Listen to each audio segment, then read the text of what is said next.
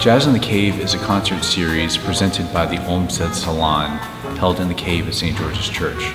We feature some of New York City's best jazz artists every second Friday of the month, and we do it in a very warm, inviting atmosphere in a, in a really cool space. The admission is only $15 and it includes a drink. We really feature a wide array of artists from seasoned veterans to young up-and-coming musicians. And we've had groups from, you know, big band to Cuban jazz to some more modern groups. The audience is very diverse. It includes people that live in the neighborhood, people from the church, young musicians, and then jazz lovers from all over the city.